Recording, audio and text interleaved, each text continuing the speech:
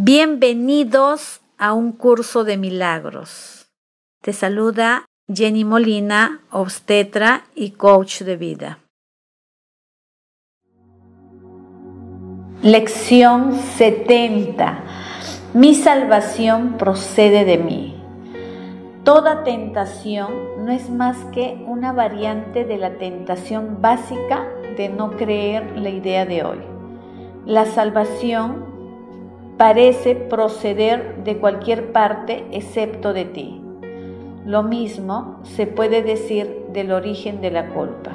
Tú no crees que la culpa y la salvación estén en tu mente y solo en tu mente. Cuando te des cuenta de que la culpa es solo una invención de la mente, te darás cuenta también de que la culpa y la salvación tienen que encontrarse en el mismo lugar. Al entender esto, te salvas. El aparente costo de aceptar la idea de hoy es el siguiente. Significa que nada externo a ti puede salvarte ni nada externo a ti puede brindarte paz. Significa también que nada externo a ti puede hacerte daño, perturbar tu paz o disgustarte en modo alguno. La idea de hoy te pone a cargo del universo donde te corresponde estar por razón de lo que eres. No es este un papel que se pueda aceptar parcialmente y seguramente habrás comenzado a darte cuenta de que aceptarlo es la salvación.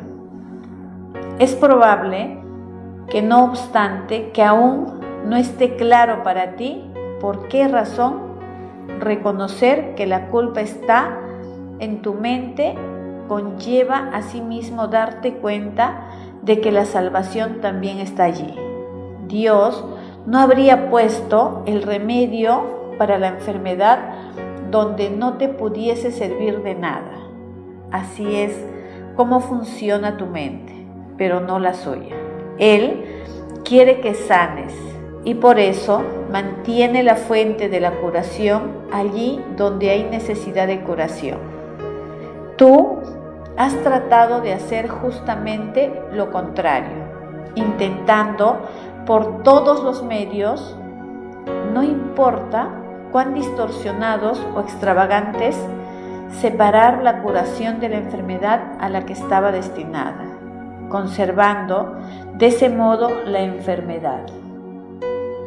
Tu propósito ha sido asegurarte de que la curación no tuviese lugar. El propósito de Dios ha sido asegurarse de que sí lo tuviera.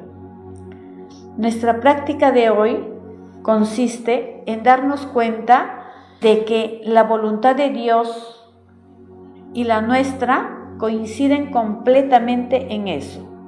Dios quiere que sanemos y nosotros no queremos realmente estar enfermos, pues eso no nos hace felices. Al aceptar la idea de hoy, por lo tanto, estamos en realidad de acuerdo con Dios.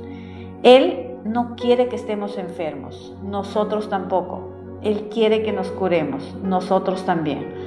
Hoy estamos listos para dos sesiones de prácticas largas cada una de las cuales debe tener una duración de 10 a 15 minutos. Dejaremos, no obstante, que seas tú quien decida cuándo llevarlas a cabo.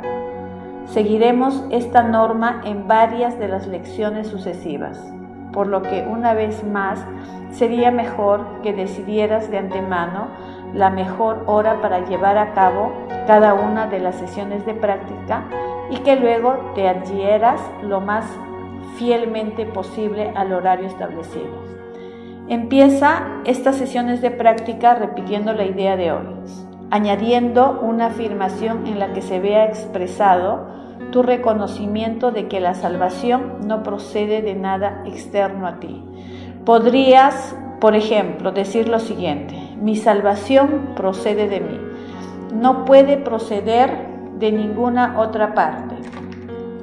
Dedica después varios minutos con los ojos cerrados a revisar algunas de las fuentes externas en las que en el pasado buscaste la salvación, en otra gente, en posesiones, en diversas situaciones y acontecimientos y en conceptos de ti mismo que intentaste convertir en realidad.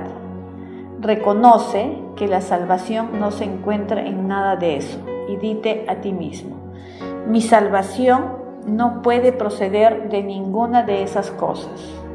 Mi salvación procede de mí y solo de mí. Trataremos ahora nuevamente de llegar a la luz en ti, que es donde realmente se encuentra tu salvación.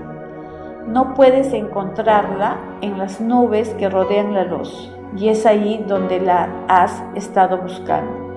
No está ahí, está más allá de las nubes, en la luz que se encuentra tras ellas. Recuerda, que tienes que atravesar las nubes antes de poder llegar a la luz. Pero recuerda también que jamás encontraste nada que fuese duradero o que realmente quisieras en los tapices de nubes que te imaginabas. Puesto que todas las ilusiones de salvación te han fallado, seguramente no querrás quedarte en las nubes buscando en vano ídolos falsos cuando te sería tan fácil llegar hasta la luz de la verdadera salvación. Trata de ir más allá de las nubes utilizando cualquier medio que te atraiga. Si te resulta útil, piensa que te estoy llevando de la mano y que te estoy guiando. Y te aseguro que esto no será una vana fantasía. Para las sesiones de prácticas cortas y frecuentes de hoy, recuérdate a ti mismo que la salvación procede de ti y que nada, salvo tus propios pensamientos, puede impedir tu progreso. Estás libre de toda interferencia externa. Estás a cargo de tu salvación. Estás a cargo de la salvación del mundo. Di entonces, mi salvación procede de mí. No hay nada externo a mí que me pueda detener. En mí se encuentra mi propia salvación y la del mundo. Mi salvación procede de mí. No hay nada externo a mí que me pueda detener. En mí se encuentra mi salvación y la del mundo. Lo siento, perdóname. Gracias, te amo. Suscríbete a mi canal de YouTube, dale like a mi página de Facebook, consulta mi página web, comenta, comparte y crea algo extraordinario en tu vida. Lo siento, perdóname, gracias, te amo.